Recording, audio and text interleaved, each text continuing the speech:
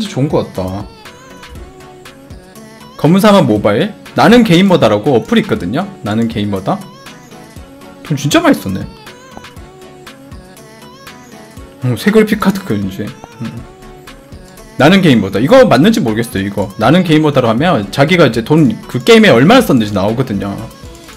그러니까 충동적으로 막 구매하다 보면 얼마 썼는지 참 망각하거든 사람들이. 근데 한번 이걸 통해 가지고 자기가 썼는 돈을 한번 확인해 보면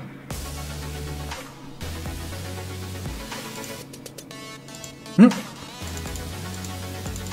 아이트 100만 원이네. 응. 100만 원 썼어? 이건 뭐고? 아, 총 게임 결제 금액이네. 내가 100만 원 썼구나. 그래, 그래, 좀 이상하더라. 진짜 썼네, 돈. 100만 원에서 이제 그때 악세 팔아가지고 20만 원 페이백 했으니까 86만 원 썼네.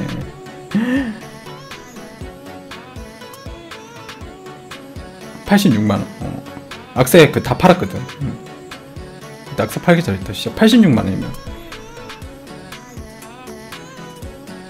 대충 지금 몇 개월째야?